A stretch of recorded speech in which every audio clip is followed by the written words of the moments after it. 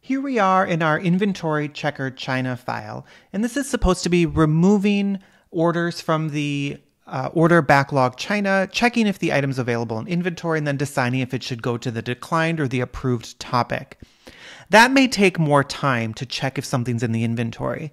So what we're going to do here is add in a random amount of time that the potentially it could take to check the inventory. We're just going to use that by making this thread go to sleep here inside of handle message. So I'm going to place that inside of a try catch block. And the type of exception that it's going to catch from the thread uh, sleep is an interrupted exception. So I'm just going to place that in here.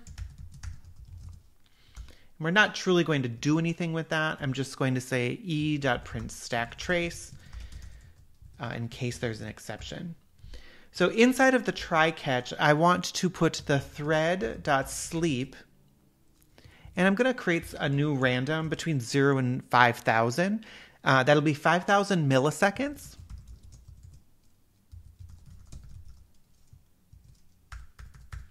So we can simulate that each time this runs, it could take anywhere from between 0 seconds to 5 seconds for this thread to pause here, simulating some work. Let's go ahead and start this up. So I will do the command here inside of the uh, developer training folder again. Let's start up the inventory checker China. And at the same time, I have a second terminal open here. I'm going to start up order producer.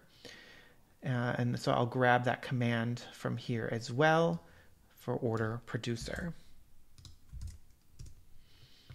Going back over to inventory checker China, let's see if it's processing anything. There's nothing currently that I have backlogged that it needs to process. So we're just going to have to wait for the order producer to start producing orders. And let's take a look and see when this one starts up. So here it's producing a message to order backlog US.